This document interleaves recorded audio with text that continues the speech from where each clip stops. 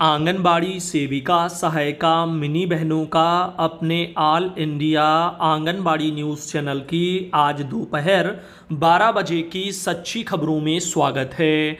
भाइयों बहनों, आज दोपहर के इस वीडियो को जरा ध्यान से सुनिएगा और पूरा देखिएगा, क्योंकि इस वीडियो में तमाम बड़ी खबरें हैं और सभी खबरें काफ़ी खास हैं। आइए देखते हैं बिना समय गंवाए।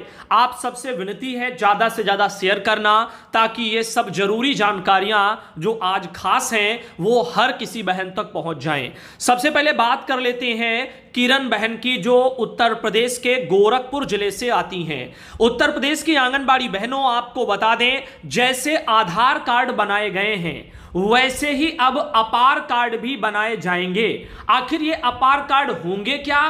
क्यों बनाए जाएँगे? इसके बारे में जल्दी से आपको हम अवगत करा देते हैं। तो अपार कार्ड में होगी बच्चे की शैक्षणिक कुंडली। गोरखपुर में यह खबर प्रकाशित है, स्कूल के जो प्रदेश के जो स्कूल हैं, वहाँ पर जो बच्चे पढ़ रहे हैं, उनका जो शैक्षिक ब्यौरा होगा अब एक ही क्लिक पर सामने आ जाएगा। आधार कार्ड की तरह अब हर बच्चे का ऑटोमेटेड परमानेंट एकेडमिक अकाउंट बनाया जाएगा, जिसको ही अपार कार्ड बोला जाएगा। इसमें यहाँ पर आगे और क्या होगा वो भी जान लो।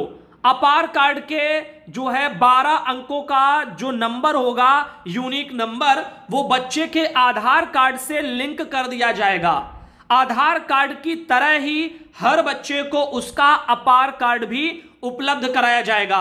One nation, one student ID के तौर पर अपार कार्ड का इस्तेमाल पूरे देश में किया जा सकेगा। इससे क्या होगा? जो लोग एक बार पढ़ाई किए, दोबारा से नाम बदलकर फिर करने लग गए तो इस तरह का जो कार्य हो रहा था, वो खत्म हो जाएगा। एक व्यक्ति का एक ही अपार कार्ड बनेगा, जैसे एक व्यक्ति का एक ही आधार कार्ड बनता है। तो अब ऐसे में उनका जितना भी शैक्षणिक चीज़ें होंगी, पढ़ाई लिखाई, वो उस पर सब फ़ीड होगा। एक ही क्लिक में पता चल जाएगा फलाने ने क्या क्या डिग्री हासिल की। अब जो लोग दो दो, तीन तीन जो है चीज़ें नाम बदल बदल करके कर लेते थे, वो चीज़ों का दौर खत्म हो जाएगा। बेसिक से लिखा गया है, माध्यमिक विद्यालय के बच्चों की शैक्षिक जानकारी के लिए शासन ने कुछ महीना पहले यू डाइस पोर्टल पर 11 अंकों का परमानेंट एजुकेशन नंबर, यानी पेन जनरेट किया था। अब इसके स्वरूप में बदलाव करते हुए बच्चे का अपार कार्ड बनाने की जो प्रक्रिया है वो शुरू हो रही है। अपार कार्ड के माध्यम से छात्र छात्राओं की जो शैक्षणिक प्रगति है और उसकी जो उपलब्धियाँ हैं वो भी ट्रैक की जा सकेंगी। छात्र छात्राओं की शैक्षिक यात्रा आ, उनके अंक पत्र आदि खुद ही अपार आईडी में सुरक्षित हो जाएँगे। बच्चा किस कक्षा में कब प्रवेश लिया और परीक्षा में कितने अंक आए इसके अलावा उसकी शिक्षणेतर उपलब्धियाँ क्या क्या रहीं यह सब अपार कार्ड में उसमें जो है माध्यम से ही जाना जा सकेगा। अपार कार्ड में बच्चे का दर्ज विवरण डिजी लॉकर में भी जो है सुरक्षित रहेगा। अपार कार्ड से आउट ऑफ़ स्कूल बच्चों का चिन्हीकरण भी आसानी से हो जाएगा। प्रतिवर्ष ड्रॉप आउट होने वाले जो छात्र छात्राएँ हैं, उनका भी पता लगाकर उन्हें शिक्षा की मुख्य धारा से वापस लाया जा सकेगा।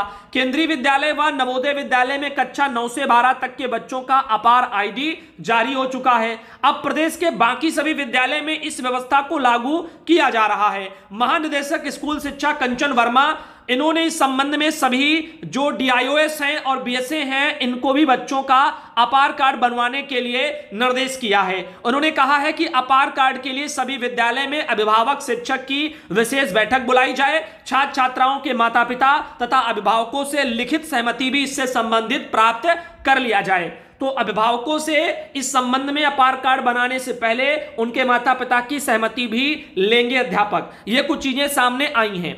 तो यहाँ पर किरण बहन है, पिपराइच ब्लॉक पड़ता है, गोरखपुर जनपद है, जहाँ से एक जानकारी भेजी गई। मैंने कहा, इस वीडियो में सभी जानकारियाँ खास हैं, आइए अगली जानकारी पर आते हैं। हमारे पास एक जानकारी यह भी प्रसारण के लिए आई है, यहाँ पर दरअसल सीडीपीओ पर वसूली के गंभीर आरोप लगाए जा रहे हैं। मामला जो है वो प्रतिनिधि ब्रिजेंद्र सिंह ब्रजेंद्र जो शर्मा हैं, जिनका एक ये लेख है, बलिया जनपद जो है, बैरिया जो क्षेत्र पड़ता है वहाँ का। आइए देखते हैं क्या क्या बातें सोशल मीडिया में इस आर्टिकल में के मुताबिक जो है चर्चाओं का विषय है। बताया जा रहा है कि आंगनबाड़ी कार्यकर्ता का उत्पीड़न बर्दाश्त नहीं किया जाएगा, लूट बंद नहीं होगा तो तहसील कार्यालय पर धरना प्रदर्शन भी किया जाएगा। आपका पप्पू सिंह रुद्र। साथ ही आगे लिखा गया, आंगनबाड़ी कार्यकर्ता से सीडीपीओ पर वसूली का गंभीर आरोप। आंगनबाड़ी कार्यकर्ता सहायिका से संकेत देकर के मांगा जा रहा है। लिखित रूप में जो है कहीं ना कहीं जो पैसा तो यहाँ पर आइए देखते हैं आगे क्या लिखा। जिला कार्यक्रम अधिकारी जो कृष्ण गोपाल पांडे हैं, उन्होंने कहा है कि इस मामले की जो है, उक्त प्रकरण की जाँच करके उचित कार्रवाई भी की जाएगी। तो यह मामला डीपीओ महोदय के जो है, संज्ञान तक पहुँच चुका है। उधर बात करें, आर्टिकल की जो ये लिखा गया है, विजेंद्र शर्मा जी की तरफ़ से बताया गया कि बैरिया में बाल विकास परियोजना अधिकारी मुरली छपरा एक गंभीर आरोप सामने आए हैं वहाँ से, जहाँ सुपरवाइजर द्वारा सीडीपीओ के नाम पर कार्यकर्तियों से वसूली की जा रही है। आरोप है कि सुपरवाइजर मोबाइल पर कोड वर्ड में मैसेज भेज करके कार्यकर्तियों से पैसे मांग रही हैं। आंगनबाड़ी कार्यकर्ती ने बताया कि उन्हें सीडीपीओ के नाम पर प्रति महीना पाँच रुपया और मिनी कार्यकर्ता को तीन सौ रुपया हर महीना जमा करने का निर्देश दिया गया है। अगर वे पैसे नहीं देते तो उन्हें जाँच करके कार्रवाई की धमकी दी जा रही है। इस मामले में आंगनबाड़ी कार्यकर्ता बहनें जो हैं, उनमें रोष भी व्याप्त है और उन्होंने नाम न छापने की शर्त पर बताया है। कि नव नियुक्त जो सीडीपीओ हैं, उनके इस कदम से उन्हें अत्यधिक परेशानी हो रही है। उन्होंने बताया कि पूर्व में राकेश यादव सीडीपीओ थे और कार्यालय में ऐसी वसूलियाँ तब नहीं होती थी और उनके कार्यकाल में आंगनबाड़ी बहनों को काफ़ी राहत भी मिली थी। लेकिन जो नव नवनियुक्त सीडीपीओ हैं, उनके आने के बाद से यह वसूली फिर से शुरू हो गई है। इस संबंध में जब हमारे प्रतिनिधि ने सुपरवाइजर सावित्री से बात किया तो उन्होंने यह आरोप बेबुनियाद बताया। यानी जब कहीं ना कहीं ये विजेंद्र शर्मा जी का लेख है। उनके अकॉर्डिंग जब भी पूछा गया होगा सुपरवाइजर से तो उन्होंने बेबुनियाद बताया। क्योंकि जब भी कोई चीज़ें होती हैं, कोई भी अगर कुछ गलत करेगा तो कबूल थोड़ी करेगा। अब इस मामले में मामला जब डीपीओ महोदय के संज्ञान में जा चुका है, वो अपने स्तर से जाँच करेंगे और फिर देखेंगे कि क्या चीज़ें हैं। लिखित तौर पर मांगा जा रहा है तो और भी साक्ष्य बहनों के पास होंगे। मेरा हमेशा से बहनों उसको अपना यही समझाना रहा है कि जब भी मामले में आप उंगली करें तो साक्ष्य आपके पास पूर्णतया होने चाहिए। अब जो भी आरोप यहाँ पर लगाए गए हैं, इस लेख के मुताबिक ऑल इंडिया उन आरोपों की पुष्टि नहीं करता। ये वायरल खबरें हैं। मामला डीपीओ महोदय के संज्ञान में जा चुका है। वो मामले की जाँच करने के लिए कह चुके हैं। जाँच करेंगे। जाँच में जो भी सामने आएगा, जो भी साची बहनों की तरफ़ से वहाँ दिए जाएँगे, फिर वैसा कुछ आगे कार्रवाई किया जाएगा। सत्येंद्र जी हैं, महाराजगंज जनपद से आते हैं और उन्होंने महाराजगंज जनपद से कुछ जानकारियाँ भेजी हैं। दरअसल दो वीडियो आए हैं जो कि सिद्धार्थनगर ज़िले से हैं। प्रभावती बहन के जो है बैनर तले धरना प्रदर्शन उनके सिद्धार्थनगर में भी किया जा रहा है। और ये सब बहनें आंगनबाड़ी अधिकार संयुक्त मोर्चा जो बना था उसी से हमारी सब बहनें जुड़ी हैं और उन्हीं का प्रदर्शन कल 30 सितंबर को जारी रहा। ये कल के वीडियो हैं, आज भी जारी रहेगा और कल भी जारी रहेगा। लेकिन नहीं कर सकती। सिद्धांत है, लेकिन हमारे बीच में तमाम ऐसी बहनें हैं जो गुमराह करने का काम करती है, तोड़ने का काम करती है, लेकिन यहाँ हमको आपको कहीं ना कहीं हमको आपको इसके लिए सोचना होगा। हमको आपको एकजुट होना पड़ेगा। और जब तक आप एकजुट नहीं होगी तब तक कल्याण नहीं होगा। आज आपके जनपद में आपकी संख्या देखी जाए तो कम से कम आपकी संख्या पाँच हज़ार, लगभग साढ़े पाँच हज़ार है। लेकिन आप बता दो कि इन साढ़े पाँच हज़ार में क्या आपकी ढाई हज़ार संख्या आई है? चले तो और भी बहनें हैं, मंजू बहन हैं जो कि फतेहपुर से आती हैं, जिन्होंने फतेहपुर जनपद में भी कल प्रदर्शन किया गया है। जिलाध्यक्ष बहन है बसंती सोनकर, जिनकी अध्यक्षता में फतेहपुर जनपद की बहनों ने भी प्रदर्शन किया है। तस्वीरें हमारे पास आई हैं, जो कि आप यहाँ पर देख सकते हैं। मंजू बहन के द्वारा प्रसारण के लिए भेजी गई हैं। बाकी वहाँ से वीडियो नहीं है। वीडियो के टाइम में एक आया है, इस वीडियो को हम लगा देंगे। इकतालीस सेकेंड का वीडियो भी आया है, इसे भी अभी हम दिखा देंगे। इधर बात करें उत्तर प्रदेश के अमेठी जनपद की। भानमती सरोज बहन आती हैं, जिन्होंने अपने वहाँ से भी जानकारी भेजी है। कल 30 सितंबर को डीपीओ सर को बहनों ने वहाँ पर लेटर दिया है। 2 अक्टूबर को जिला मुख्यालय पर एक दिवसीय धरना प्रदर्शन का बहने आयोजन कर रही हैं। इस संबंधित सूचना भी उन्होंने डीपीओ सर को जाकर के दे दी है। जलाध्यक्ष भानुमती सरोज शाहगढ़ जो पड़ता है, अमेठी जनपद में वहाँ से आती हैं। अब ये देखिए, डीपीओ सर हैं, उनको बहने ज्ञापन सौंप रही हैं। और चेहरे पर मुस्कान भी आप देख सकते हैं। कई बार आपने देखा होगा कि कई अधिकारियों को जब बहने ज्ञापन सौंपने जाती हैं तो उनके चेहरे मानो जैसे लटक जाते हो। लेकिन यहाँ पर डीपीओ सर के चेहरे पर खुशी है और ऐसे ही होना चाहिए। इससे एक अच्छा संदेश जाता है बहनों को जो वहाँ पर ज्ञापन सौंपने आती हैं। उनको भी लगता है कि हमारी जो भी समस्याएँ उनको लेकर के कहीं ना कहीं नाराज़गी हमारे विभागीय अधिकारियों में नहीं है। वो हमारी समस्याओं को समझते हैं और आगे चीज़ों को पहुंचाएँगे। तो ये एक अच्छा चीज़ है। और साथ ही साथ यहाँ पर आगे चलते हैं। बहनों को इससे ऊर्जा मिलती है। और आगे चले चंद्र किरण जी हैं, हमीरपुर जनपद से आती हैं। उन्होंने अपने हमीरपुर जनपद से भी कुछ जानकारियाँ भेजी हैं। दरअसल एक आर्टिकल टाइप से है। एजुकेटर भर्ती के विरोध में ये लिखा है, विरोध किया, लखनऊ में धरना देने की चेतावनी भी दी गई। हमीरपुर के राठ जो कस्बा पड़ता है, वहाँ पर सैकड़ों आंगनबाड़ी बहनें जो है, एकत्र हुई थी एजुकेटर भर्ती के विरोध में। इतनी जानकारी बस आई है ज़्यादा कुछ वहाँ से नहीं आया। इधर गाजीपुर जनपद की बात करें तो सरस्वती बहन ने भी कुछ जानकारी कुछ फ़ोटो है छोटी सी, और उसी के नीचे यहाँ पर लिखा है कि गाजीपुर जिला मुख्यालय स्थित सरजू पांडे पार्क में आंगनबाड़ी अधिकार मोर्चा उत्तर प्रदेश के आह्वान पर आंगनबाड़ी कर्मचारी एवं सहायता एसोसिएशन द्वारा धरना प्रदर्शन किया गया। आंगनबाड़ी केंद्र पर ईसीसी एजुकेटर भर्ती रद्द करने और लंबित मांगों को लेकर के कर्मचारियों ने विरोध प्रदर्शन किया। मुख्यमंत्री को संबोधित पत्रक जिला प्रशासन को भी सौंपा। ये कुछ चीज़ें यहाँ से भी देखने को मिली। इधर लक्ष्मी बहन है झांसी जनपद से आती हैं। अगर हम उनकी बात करें तो यहाँ पर आंगनबाड़ी कर्मचारी यूनियन उत्तर प्रदेश झांसी जनपद की तरफ़ से भी प्रदर्शन देखने को मिला है। ये बहनें, इनका जो संघ है, आंगनबाड़ी कर्मचारी यूनियन उत्तर प्रदेश, सीटू से संबद्ध है और हमारी बहनें जो है, उनका भी प्रदर्शन देखने को मिला। ये कुछ मीटिंग टाइप से मुझे दिखाई दे रही हैं और आगे कुछ एक ज्ञापन इस संबंध में कल तीस सितंबर का जारी है प्रेस विज्ञप्ति के तौर पर। आंगनबाड़ी कर्मचारी यूनियन की तरफ़ से इनमें चीज़ों को लिखा गया है कि 30 सितंबर को आंगनबाड़ी कर्मचारी यूनियन उत्तर प्रदेश जनपद जो है यहाँ पर झांसी की आवश्यक बैठक हुई और साथ ही साथ वे कुछ लिखा गया है। राइटिंग का थोड़ा मुझे इशू लग रहा है। आ, कौन सा ये भवन है जो भी प्रांगण हो जहाँ पर लक्ष्मी देवी बहन के दस्ता में शायद चीज़ें संपन्न कराई गई हैं और भी ऐसे कुछ आगे लिखा गया है। बाकी समस्याएँ आप सबको पता है वही है एजुकेटर भर्ती का विरोध। वहीं अगली बैठक को लेकर के भी लाइन नीचे लिखी है कि 8 अक्टूबर को अगली जो है का आयोजन किया जाएगा। अगली का मतलब अगली बैठक का शायद हो सकता है शब्द यहाँ पर उनका छूटा हुआ है। जिससे सभी को अग्रिम कार्रवाई से सूचित किया जाएगा। ये भी चीज़ें यहाँ पर लिखी गई और काफ़ी बहनें सबके नाम दिए हैं वो सब वहाँ पर मौजूद रही हैं। लक्ष्मी देवी बहन जो कि वहाँ से जलाध्यक्ष हैं और ये चीज़ें आई हैं। दरअसल उत्तर प्रदेश सरकार को ये सब एक तरह से आ, बहनें जो जगह जगह ज्ञापन सौंप रही हैं कुछ प्रेस विज्ञप्तियाँ जारी हो रही हैं इसी उम्मीद में कि समस्याओं को हमारी सरकार सुने एजुकेटर भर्ती जो है, प्रथम समस्या के तौर पर उसको बंद किया जाए। आयशा बेगम बहन है, साहबगंज से आती हैं। एक तरफ़ हमारी बहनें एजुकेटर भर्ती का विरोध कर रही, वहीं दूसरी तरफ़ जो है, आप देख रहे हैं, चंदौली जनपद में अखबार में एक आर्टिकल एजुकेटर भर्ती के संबंध में आया है। आंगनबाड़ी केंद्रों में पहले चरण में 128 एजुकेटरों की होगी भर्ती। यानी चरण वाइज जो है एजुकेटर नियुक्त होंगे। आने वाले समय में और हो सकते हैं। यहाँ पर बताया गया आंगनबाड़ी केंद्र में पोषण के साथ पढ़ाई के लिए पहले चरण में 128 ईसीसी एजुकेटरों की भर्ती होगी। बेसिक शिक्षा परिषद के अधीन परिषदीय स्कूलों में संचालित किए जा रहे चार को लोकेटेड जो आंगनबाड़ी हैं, उन सब में होनी है और धीरे धीरे करके फ़ेज़ वाइज ये की जाएगी। ग्यारह महीने के लिए नियुक्त होंगे। सारी चीज़ें मैंने बताई है। दस तीन सौ तेरह रुपया मिलता है ऐसी चीज़ें हैं। बाकी प्रकाश सिंह बीएसए इनका क्या कहना?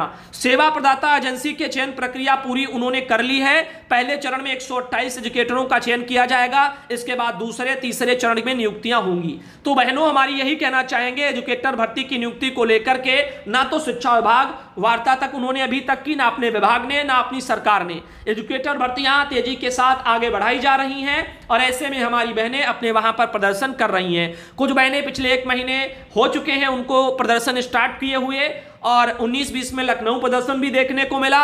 अभी आप देख रहे हैं जिला मुख्यालयों पर फिर प्रदर्शन हो रहे हैं और 14 के समथिंग आपको लखनऊ में फिर प्रदर्शन देखने को मिलेंगे। लेकिन इसी बीच मुझे ऐसा लगता है कि अक्टूबर में आ, कहीं ना कहीं ये भर्तियाँ तेज की जा सकती हैं। सरिता बहन है राजस्थान राज्य से आती हैं। बात करें राजस्थान की तो यहाँ पर भी कल पोषण अभियान से रिलेटेड कुछ तस्वीरें आई हैं कार्यक्रम मनाया गया है पोषण मेला आप इसको कह सकते हैं।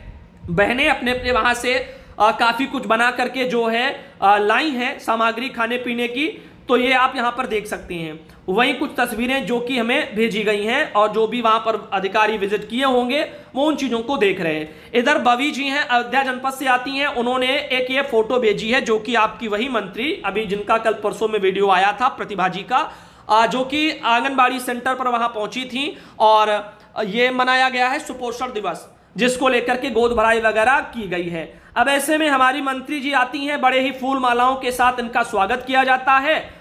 और इनकी अगर मेहनत देखी जाए तो क्या आंगनबाड़ी से ज़्यादा है? आप जरा स्वयं ही सोचिए। आंगनबाड़ी बहनें बेचारी पकवान बनाए, टोकरियाँ भर भर के लाएँ और फिर गर्भवती महिलाओं को वो सौंप दी जाएँ। इनमें बहनों का खर्चा भी होता। वहीं दूसरी तरफ़ मंत्री जी आए, एसी वाली गाड़ी से उतरे और फ़ोटो खिंचवाएँ बढ़िया से। उसके बाद उनको सम्मान स्वरूप ये गुलदस्ते दे दिए जाए, जो कि मंत्री जी कार्य अच्छा कर रही हैं। वहीं आंगनबाड़ी बहने के लिए यही मंत्री जी कहती हैं कि आप और अच्छा जब कार्य करो, तभी तो कुछ अच्छा होगा। यानी अभी काम और अच्छा आप करो।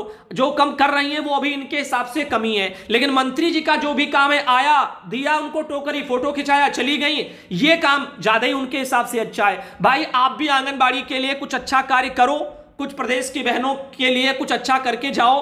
अगर आप मंत्री पद पर हैं तो कुछ समझ में आए, अन्य राज्यों के मुकाबले मानदेय वृद्धि करवा सको तो समझ में आए कि आपने भी कुछ अच्छा कार्य कार्यकर्ताओं के लिए भी कुछ किया। तो चीज़ें आपके हिसाब से भी भविष्य में कुछ बेहतर हो। अब देखना यही है चुनाव में आखिर क्या होता है। क्या मंत्री जी जिस तरह से समझती हैं आंगनबाड़ी और अच्छा कार्य भी करें तब कुछ उनका अच्छा होगा। तो क्या चीज़ें होंगी? मंत्री जी के कार्य से क्या आंगनबाड़ी खुश हैं? तो फिर मंत्री जी का कार्य कैसा होगा उसका भी फल आगे चुनाव में देखने को मिल सकता है। खैर हम आगे चलते हैं। आन, आने वाले समय में बहनों आप अगर प्रसारण के लिए भेजें तो कुछ अच्छा भेजें। यानी जब मंत्री जी हमारी कुछ अच्छा करें तभी उन चीज़ों को भेजो, तभी कुछ प्रसारण में भी कुछ अच्छा लगेगा और अच्छा दिखाया जाए। ऐसे में फ़ोटो दिखा करके क्या करूँ? ये गोद भराइयाँ तो हमारी स्वयं बहनें कर रही हैं तमाम जगह। सारा अरेंजमेंट तो वही करती हैं। और ऐसे में मंत्री जी का कुछ अच्छा कार्य तो मुझे तो दिखाई नहीं दिया। अब खैर, अगर अच्छा होगा, कुछ करेंगी तो ऑल इंडिया प्रसारण में शामिल करेगा। अन्यथा आगे से आप सब बहनें भेजें, अगर तो जब कुछ अच्छा हो तब भेजें। अन्यथा खाली ये कार्यक्रमों की बस फ़ोटो ना भेजें। इनसे कुछ बदलने वाला नहीं है। वहीं इससे अच्छा है, हमारी आंगनबाड़ी बहनों की मेहनत आप कुछ भेजिए। जो रात दिन कर रही हैं, वो ज़्यादा अच्छा है। इधर बात करें अंजुलता बहन जो उन्नाव से आती हैं। उन्नाव जनपद की भी बात करें तो डीपीओ महोदय जो उन्नाव के हैं राकेश कुमार मिश्र जी उन्होंने 27 सितंबर को एक लेटर जारी किया। महत्वपूर्ण लेटर है सीडीपीओ लोगों के लिए उन्होंने भेजा है प्रधानमंत्री मातृ वंदना योजना जिसका कार्य अभी तक आशा कर, कर जो है कार्यकर्तियाँ करती थी अब वो कार्य आंगनबाड़ी पर सौंप दिया गया। शायद हमारी प्रतिभा मंत्री जी को ये तो समझ में आया नहीं होगा पता नहीं होगा या मालूम है फिर भी अनजान है। गैर विभागों के कार्य सौंपे जा रहे हैं। कार्य खुद के विभाग के उनकी गुणवत्ता खराब होगी कि नहीं होगी? इस पर क्या मंत्री जी को समझ चीज़ें नहीं आती हैं? समझना चाहिए।